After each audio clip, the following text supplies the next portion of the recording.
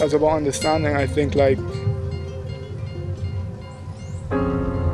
if the work makes you feel uncomfortable, that's fine. I understand because I feel like on a level, a lot of people are uncomfortable with themselves.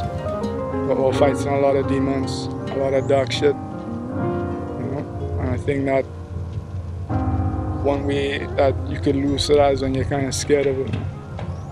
You're scared of yourself. And what's inside of you, and other people. I feel like I want to show people that there's a way to express yourself and to do what you want to do. In some way, I feel like I want to pass information on to people through my music. If I, if I could, Information about change, I would say. I wouldn't. How to be yourself. If I could fly away,